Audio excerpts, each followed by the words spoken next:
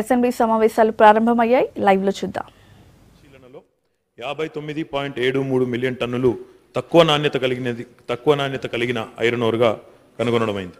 B ప్రశ్నకు సమాధానం పదమూడవ అనుసూచితో పాటు రెండు వేల పద్నాలుగు ఆంధ్రప్రదేశ్ పునర్వ్యవస్థీకరణ చట్టం తొంభై మూడవ విభాగంలో మౌలిక సదుపాయాల అభివృద్ధి కింద సెయిల్ ద్వారా ఖమ్మంలో ఒక సమీకృత స్టీల్ ప్లాంట్ ఏర్పాటు చేయడానికి కేంద్ర ప్రభుత్వం అవసరమైన అన్ని చర్యలను తీసుకుంటుందని పేర్కొనడం జరిగింది. సి ప్రశ్నకు సమాధానం బయ్యారం వద్ద ఇనుప ఖనిజ లభ్యత అవసరమైనంత పరిమాణంలోనూ తగిన నాణ్యత కూడా లేనందున రాష్ట్ర ప్రభుత్వం ఇనుప ఖనిజాన్ని మనకు దగ్గరలో ఉన్న ఛత్తీస్గఢ్ రాష్ట్ర గనుల నుండి బయలడిల్లా అనే గనుల నుండి బయ్యారానికి తేవడం కోసం ఎన్ఎండిసితో సమాలోచనలను కూడా ప్రారంభించింది. అంతేగాక ఛత్తీస్గఢ్ నుంచి బయ్యారానికి ఇనుప ఖనిజ రవాణాకు కొత్త రైల్వే లైన్ కానీ ఒక స్లరీ పైపు కానీ చేయాలనే విషయంలో కూడా ఇప్పటికే డబ్బులు మంజూరు చేసి పరిశీలిస్తూ ఉన్నాము. ఇనుప ఖనిజం సరఫరా ఖాయమైన వెంటనే రాష్ట్ర ప్రభుత్వం బయ్యారం వద్ద స్టీల్ ప్లాంట్ ఏర్పాటు చేయడం కోసం కేంద్ర ప్రభుత్వాన్ని సంప్రదిస్తుంది. డి డి ప్రశ్నకు సమాధానం అటువంటి ప్రతిపాదన లేదు. ఈ ప్రశ్న ఉత్పన్నం కాదు. రామ్మోహన్ రెడ్డి గారు.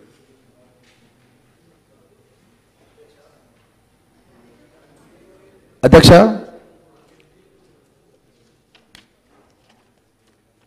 ఆంధ్రప్రదేశ్ పునర్విభజన చట్టం ప్రకారం మన రాష్ట్రానికి thirteenth schedule section ninety three ప్రకారం అధ్యక్ష గజెట్ ఇన్ ఎక్స్ట్రాడినరీ పబ్లికేషన్ లోపల sale shall examine within six months from appointed day. The feasibility of establishing a integrated steel plant in Khammam district of the successive successor state of Telangana అని చెప్పి చాలా క్లియర్గా మనకు ఇవ్వడం జరిగింది అధ్యక్ష. ఒక ఆరు నెలల లోపల ఒక ఫీజిబిలిటీ రిపోర్ట్ అనేది ఖచ్చితంగా తయారు కావాల్సిన అవసరం ఉంది అధ్యక్ష. సుమారు ముప్పై వేల కోట్ల పెట్టుబడితో ఎనిమిది వేల మంది నిరుద్యోగులకు ఒక గిరిజన జిల్లా మొత్తం కూడా వెనుకబడిన ప్రాంతం. ట్రైబల్ తాండాలు చెంచు గూడెంలు ఉన్నటువంటి ఈ ప్రాంతం లోపల ఈ స్టీల్ పరిశ్రమను మనం ఏర్పాటు చేస్తే ఆ ప్రాంతం యొక్క మనుగడకే కాకుండా మన రాష్ట్ర వ్యాప్తంగా కూడా చాలామంది నిరుద్యోగ యువకులకు ఉద్యోగ అవకాశాలు కల్పించడం వల్ల మొత్తం అధ్యక్ష. దీని ప్రకారం అధ్యక్ష మన ముఖ్యమంత్రి గారు ఒక ఉత్తరం రాశారని చెప్పి ప్రధానమంత్రి కానీ మా దృష్టికి వచ్చింది అధ్యక్ష. అదేవిధంగా కేటీఆర్ గారు కూడా ఒకసారి బీరేంద్ర సింగ్ గారిని కూడా స్టీల్ మినిస్టర్ కూడా ఒకేసారి కలవడం జరిగిందని కూడా మా దృష్టికి వచ్చింది అధ్యక్ష. అదేవిధంగా అధ్యక్ష బిల్లా డిల్లా అని చెప్పి ఛత్తీస్గఢ్ దగ్గర ఒక ఎన్ఎండిసికి సంబంధించిన ఐరన్ ఓర్ ఉంది అక్కడ వాళ్ళ లొకేషన్ ఉంది అధ్యక్ష. అక్కడ నుంచి వైజాగ్ స్టీల్ ప్లాంట్కి వాళ్ళు సప్లై చేస్తూ వైజాగ్ స్టీల్ ప్లాంట్కి ఐరన్ ఓర్ సప్లై చేస్తున్నారు అధ్యక్ష. అది ఐదు వందల కిలోమీటర్ల దూరంలో ఉంది అధ్యక్ష. అదే బిల్లాడోల్లా మన ఈ బొయారం ప్లాంట్కి కేవలం నూట ఎనభై కిలోమీటర్ల ప్రాంతంలోనే ఉంది అధ్యక్ష. దీనికి రైల్ వికాస్ నిగమ్ అనే ఒక రైల్వే గవర్నమెంట్ ఆఫ్ ఇండియా ప్రాజెక్ట్కి మనము టూ క్రోర్స్కి ఆల్రెడీ వాళ్ళకు సర్వే చేయడానికి ఎస్టాబ్లిష్ చేయడానికి అని చెప్పి ఎన్ఎండిసి ద్వారా ఒక ఎంఓయూ కూడా కుదుర్చుకున్నారన్న మాట కూడా మా దృష్టికి తెలియవచ్చింది అధ్యక్ష. కనీసం అధ్యక్ష ఇప్పుడు అక్కడ హై క్వాలిటీ ఐరన్ ఓర్ లేదని చెప్పి మంత్రి గారు సమాధానం చెప్తున్నారు. అలాంటి సందర్భం లోపల ఐరన్ ఓర్ పిల్లెట్ ప్లాంట్ కానీ లేకపోతే ముడి సరుకుని మనం బిల్లాడోల నుంచి ఛత్తీస్గఢ్ నుంచి ఇక్కడికి రైల్వే వ్యాగన్స్ ద్వారా మనం ఇంపోర్ట్ చేసుకొని కూడా చేసుకునే ఆస్కారం ఉంది అధ్యక్ష. అదేవిధంగా జియాలజికల్ సర్వే ఆఫ్ ఇండియా కూడా మనకు ఐరన్ ఓర్ క్వాలిటీ గురించి కూడా ఆల్రెడీ వాళ్ళకు శాంక్షన్ ఇవ్వడం జరిగిందని కూడా తెలిసింది అధ్యక్ష. అదేవిధంగా జిందాల్ లాంటి ప్రైవేటు సంస్థలతో కూడా కొన్ని సమాలోచనలు వాళ్ళు కూడా ముందుకు వచ్చినట్టుగా తెలుస్తుంది అధ్యక్ష. మరి దాని స్టేటస్ ఏంది? ఈ యొక్క ఐరన్ యొక్క క్వాలిటీ ఏంది? అన్నది కూడా మన కేంద్ర ప్రభుత్వంతో జరుగుతున్న సంప్రదింపుల విషయంలో కూడా అధ్యక్ష. మనకు మన ప్రాంతానికి కూడా మన శాసనసభకు కూడా సమాచారం అధ్యక్ష? అదే ఐఎమ్ కంప్లీటింగ్ అధ్యక్ష ఐఎమ్ కంప్లీటింగ్ అధ్యక్ష మన పదకొండు మంది ఎంపీలు ముగ్గురు రాజ్యసభ సభ్యులు కూడా టీఆర్ఎస్ పార్టీకి ఉన్నారు అధ్యక్ష అప్పుడు తెలంగాణ రాష్ట్రం గురించి ఏ విధంగా అయితే కొట్లాడినామో సకల జనులము అన్ని పార్టీలు కలిసి కూడా మన ప్రాంతానికి సోనియా గాంధీ గారి నాయకత్వంలో తెలంగాణ సాధించుకున్న సమయంలో ఈ ప్రాజెక్టుల విషయంలో కూడా అధ్యక్ష ఆ విధంగా అందరం కలిసి ఇక్కడ ఉన్నటువంటి ఇంతకుముందు లక్ష్మణ్ గారితో కూడా నేను మాట్లాడినాను బీజేపీ సభ్యులు. మనమంతా కూడా పోరాటం చేసి మన రాష్ట్రానికి గతం లోపల సోనియా గాంధీ గారి నాయకత్వంలో తెలంగాణ ఇచ్చినప్పుడు ఏ ఏ ప్రాజెక్టులు ఇస్తామని చెప్పినారో ట్రైబల్ యూనివర్సిటీ కానీ హార్టికల్చర్ కానీ స్టీల్ ప్లాంట్ కానీ కాజీపేటకు కూడా రైల్వే వ్యాగన్ కోచ్ ఫ్యాక్టరీ కానీ ఇవన్నీ కూడా అదే ఐటీ ఐటీ ఐఆర్ ప్రాజెక్టు కూడా అధ్యక్ష. చాలా మంది మాట్లాడితే కష్టం చాలా మంది నిరుద్యోగ యువకులు అధ్యక్ష. ఉద్యోగాలు లేక ఈరోజు ప్రపంచవ్యాప్తంగా కూడా నిరుద్యోగ యువతనే ఈరోజు చాలా సమస్యలతో బాధపడుతుంది. మొన్న ట్రంప్ గెలిచినాడంటే కూడా నిరుద్యోగ యువకులకు లోకల్ వాళ్ళకు అవకాశాలు ఇవ్వడం గెలిచిన అధ్యక్ష. ఈ రోజు లక్ష ఏడు వేల ఉద్యోగాలు ఇస్తామని చెప్పి మనం ప్రకటించిన అధ్యక్ష. వెంటనే నిరుద్యోగ చిన్నాడు అధ్యక్ష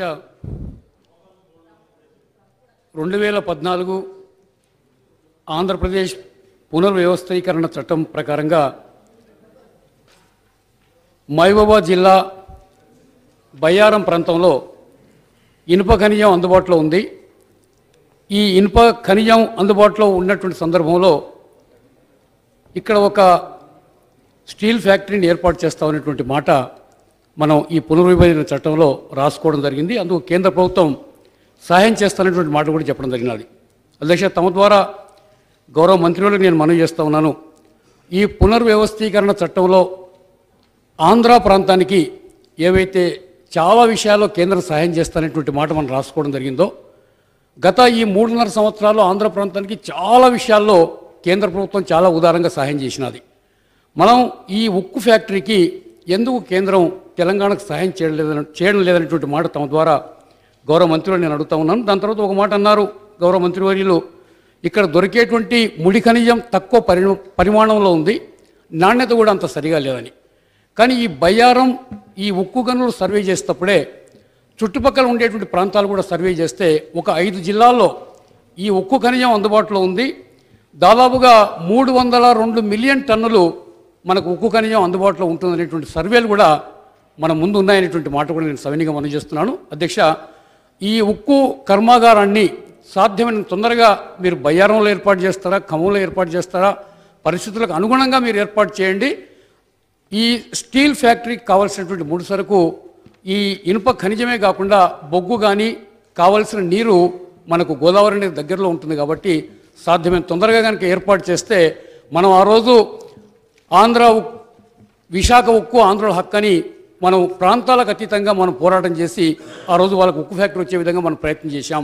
అందుకని తెలంగాణ ప్రాంతంలో ఈ స్టీల్ ఫ్యాక్టరీ రావాల్సిన ఆవశ్యకత ఉందనేటువంటి మాట తమ ద్వారా గౌరవ మంత్రులకు నేను తెలియజేస్తూ సాధ్యమైన తొందరగా కేంద్ర ప్రభుత్వంతో మాట్లాడి మనం ఈ సంవత్సరాల లోపల ఈ ఫ్యాక్టరీని ఏర్పాటు చేసే దిశగా ప్రభుత్వం అడుగులు వేయాలని తమ ద్వారా నేను గౌరవ మంత్రులను కోరుతా ఉన్నాను.